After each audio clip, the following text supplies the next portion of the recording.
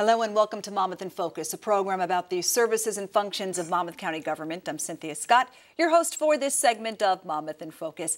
Today we are joined by Freeholder John Curley, who serves as the liaison to the county's Fire Academy. Freeholder, thanks so much for joining us today here on Monmouth in Focus. Always a pleasure to be in the studio with you. Oh, thank you so thank much. You. The, the Fire Academy in Monmouth County um, is going to hit a milestone. Let's talk about how exciting that is and what is the milestone? Well, we have the finest fire academy, I believe, in the entire state of New Jersey.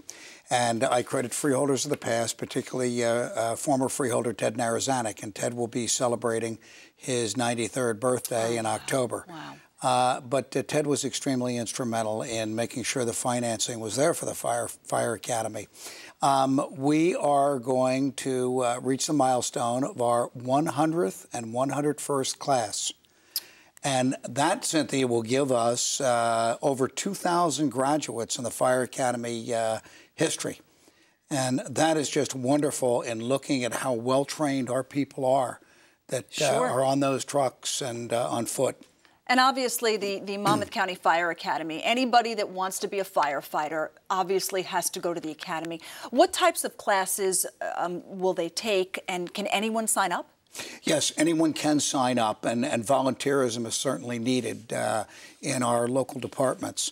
Uh, they can go to their local department, express the interest. Mm -hmm. uh, they can go on on their uh, own and uh, and uh, sign up to take uh, Fire Academy courses. Okay. We have two classes, uh, usually in September and another in February. And right now, the February uh, 2014 classes, that is open enrollment going on at this moment. So I urge anyone who's interested to, to please participate.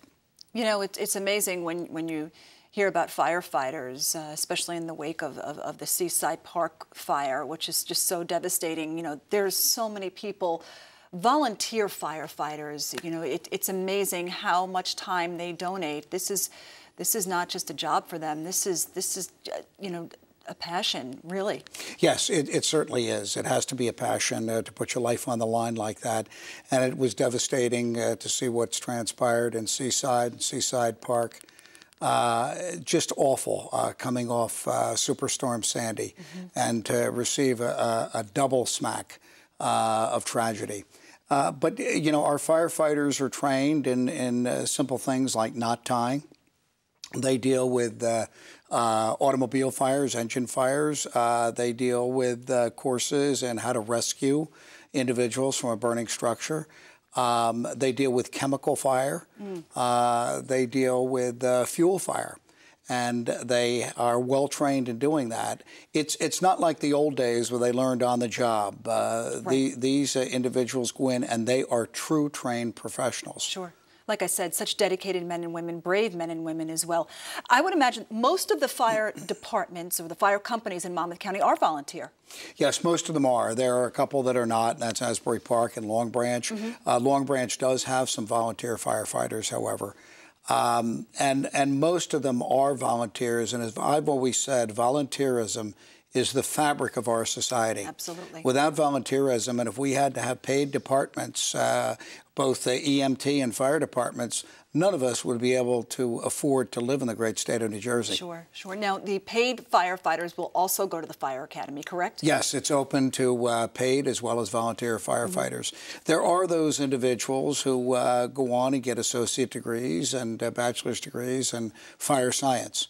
Mm -hmm. uh, Ocean County College offers that uh, as, uh, as a transfer program, and here at uh, Brookdale Community College, Kean College also offers a bachelor's degree program through the Communiversity program. Mm -hmm. And we're very, very proud of the Communiversity program and all the accomplishments uh, here at Brookdale. And you know, we talk about volunteerism, Freeholder. You know, it's not just them volunteering, you know, a few hours a month, five. I mean, these firefighters, when there's a fire, it's 24 7 for them. Yeah, it is 24 7, and the training is a four month period. Uh, so that's a tremendous commitment of time. Uh, and uh, I know a lot of them, uh, the families uh, have to say goodbye for a period of time, mm -hmm. even though it, it, it's not a, uh, a live, uh, live-in situation. They travel to the fire academy.